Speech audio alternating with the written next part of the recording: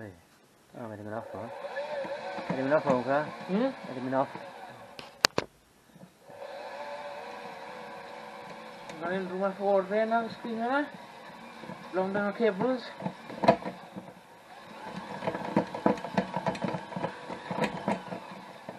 Jangan dulu.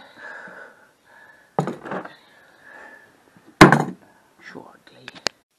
for water wheel. Uh, for some reason, my my audio's got out. Um, if I would have gotten everything finished in time, preferably I would have mount the back of a washing machine assembly onto that and putting it, I know, in a stream and seeing if it to do, but I haven't got any time.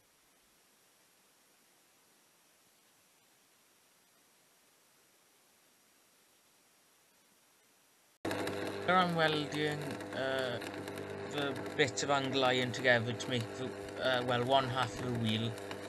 Um, each one has an inner angle cut on one side uh, and that means that they all butt together to make a circle. I think it was 60 degrees.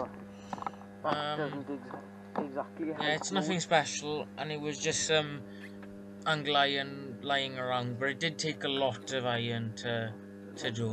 Um, yeah.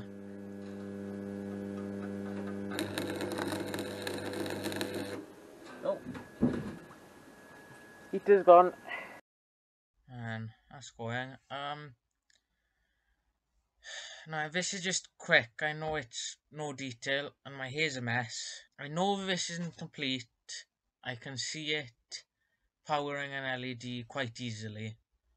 Um, and I know that my video isn't detailed and it's a bit rubbish, but I think the concept was supposed to be that you could take uh, you know, regular washing machine with an universal motor, not even have to fiddle with a belt, you know, just take it and and the idea was was between this loop and the bar I had of uh, ram of some sort, um, and just put a piece of twine between it and the tension and sort of start turning things round, you know, best case scenario.